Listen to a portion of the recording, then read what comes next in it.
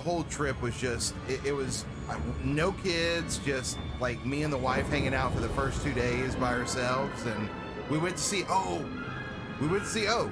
That's I was about to saw. say. I We- thought you were gonna say you went to a magic show. Well, no, no, we went to see oh, it was the Cirque du Soleil oh. Oh, Cirque du Soleil is Oh amazing. my god, it was awesome. It was so good because it's water and they have the stage that's water and then they have these uh, hydraulic platforms that go up and down while they're doing the I mean, it was super super awesome.